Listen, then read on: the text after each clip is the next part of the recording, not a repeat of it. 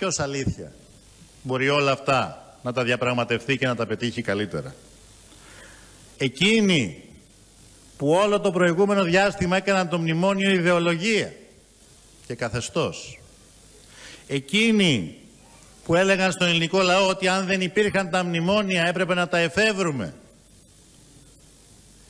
Ή εμείς που δώσαμε σκληρά τη μάχη, πήραμε ρίσκα, οδηγήσαμε τη διαπραγμάτευση στα ωριά της, βγάλαμε όλος στο, όμως τον ελληνικό λαό στο προσκήνιο, αναδείξαμε το δίκαιο του διεθνώς, δώσαμε μάχες, κερδίσαμε μάχες. Να σας πω και μια άλλη τομή που πρέπει να γίνει. Ναι. Και να μην, το, να μην υπήρχε το μνημόνιο, πρέπει να το έχουμε φεύρει.